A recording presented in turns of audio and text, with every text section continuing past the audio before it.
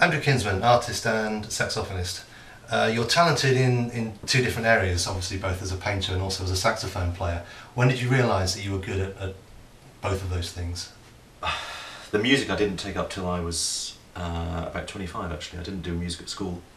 I always did the art, um, but that was kind of off my own back. I started painting in oils um, when I was 10, 10 or 11, which is quite early to paint in oils, I suppose. Hmm. Um, and I just carried on painting. I sold some work to friends kind of soon after that. What, like when you were a teenager or? Yeah, yeah, kind of 12, 13. I was selling work to my mum's friends and.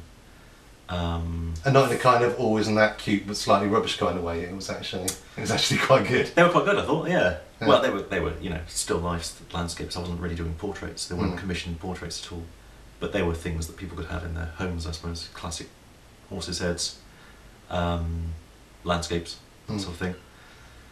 Uh, and then I, well, moving forward, uh, when I was about 25, I took up the saxophone properly. I actually got a saxophone when I was about 20, Hmm. never played it, and uh, sold it for a month's rent. Regretted it, and then bought another one. Um, and started seriously playing about 25. Doing odd jobs then, still doing the painting for a bit, and then I just realised that I couldn't do both, so I gave up the painting for about seven or eight years Ah, okay.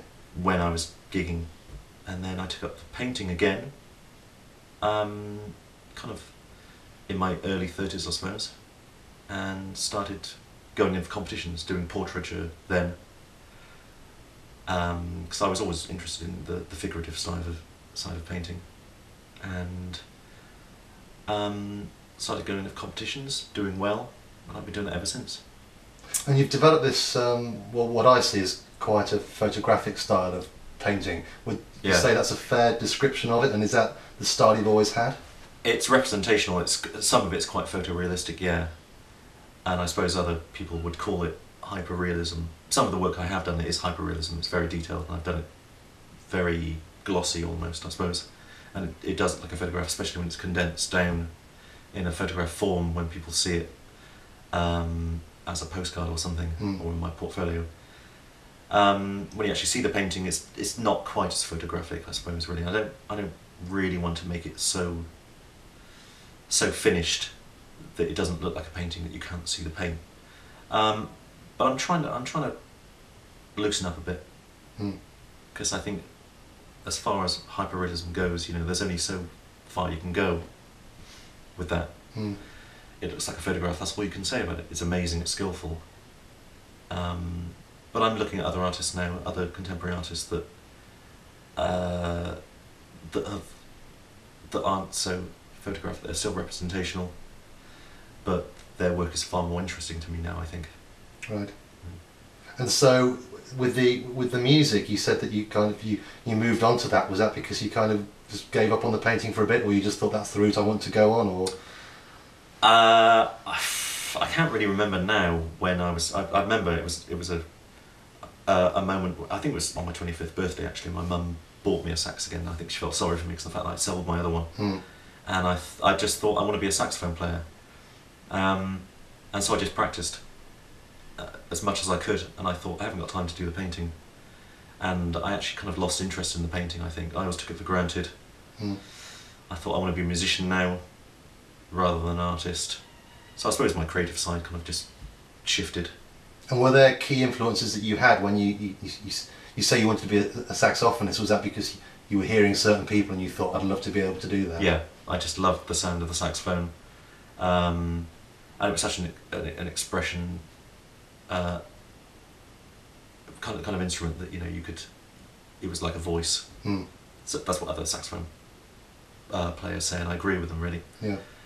Um, yeah, it's it's something representational. Every saxophone player sounds different because, like a singer sounds different. You know, it's the uh, the the the throat, your embouchure, the way you play, the way you improvise, obviously. Um, and I just love jazz. I love the improvising side of it. How you could make one tune sound so different Hmm. Um, But that's not an easy thing to do, though, is it? That's that's to set your sights on thinking I, I want to be able to play around with the music that much. Yeah. quite hard. It is, yeah. It's, it's a minefield, and it's a never-ending process, I suppose. And I, I'm nowhere near uh, what I would consider to be a great improvising saxophonist. To be honest, when I hear other sax players on YouTube, Hmm. I'm blown away all the time, and I just and I think you know I'm I'm I'm just scratching the surface really. But I suppose really I try to sound as melo- melodic as I can when I improvise. And is that is that lack of um, lack of practice or lack of talent, or have some people just got the ability to be able to? Complete lack of practice, really. Because, uh, I mean, I, I practiced really hard when I first started Mm. playing the sax at 25 um, for a good sort of three or four years. Got to doing gigs. I suppose I became a bit disillusioned with gigs, thinking no one's really listening, Hmm. you know. So how good do I have to be to do to do this, you know, to perform? Hmm. the kind of people you're impressing really I suppose are the other musicians you play with they're the ones that notice it if you're good and then therefore you get the gigs I suppose but um, and then I think I kind of when I took up the painting again the the desire to be you know the best sax player I could be kind of shifted a little bit Yeah. so I then I started the, the um, you know exhibiting works. I started missing the, the playing a bit more. I've always just tried to juggle the two really, Hmm. and I think I think now for the last kind of couple of years I've really tried to be focused on both, and now I'm trying to actually make one work with the other. Hmm. But it's more, I suppose, music is a lot more social than, than painting. Yeah, it is completely. And there's got to be an advantage, for example, um, I don't know if it's true, but they say that uh, saxophone players always get the girls. Is that, uh, is that a fair comment? You always say that. uh, I, I, I, girls like the sound of the, the saxophone. They think it's sexy and, Hmm. and it's quite phallic, I suppose, really. Um, Maybe it's the same as guitarists, I don't know. maybe that's why I took it up, I suppose. I don't know. But it is very sociable, yeah. Yeah. And this and the, contrast of painting is, I suppose, really the, practicing is is is is um is like the painting. Hmm. It's uh, you're just, just stuck in your room for hours, just you know, um, just working at something, just trying to improve. I suppose the difference with the painting is the fact that you actually have uh, the results in front of you as you're painting. You can Hmm. see it developing. That's what I love, and that's what I that's what I missed when I was doing the music. I Hmm. missed creating actually something.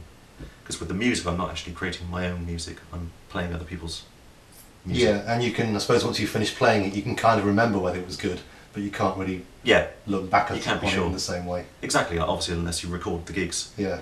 which I've been doing, um, and which is a real eye opener because I realise, you know, I've just got to go back to the beginning and, and just get the basics.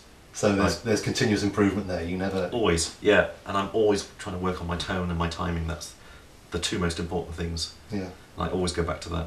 Yeah. Right, I've got a few um, quick fire questions for you. Tate Modern or National Gallery? National Gallery, Audrey Hepburn or Grace Kelly? Audrey Hepburn, definitely. Stan Getz or John Coltrane? Ah, uh, Stan Getz. Initially, obviously, so many sax players that I'm listening to now have all learned from John Coltrane. Okay. Uh, I love them both. I couldn't decide. Uh, Latin or funk? Um, funk, I suppose. Uh, Bristol or London? Uh, Bristol. Yeah. And finally, it's a bit of a desert island question, but um, if you could take your all your painting stuff to a desert island or your saxophone, which one would you take? My painting stuff. Interesting. It would be hard to choose, but yeah, I think my painting stuff. Okay. Yeah. Andy Kinsman, thanks very much. Thank you very much.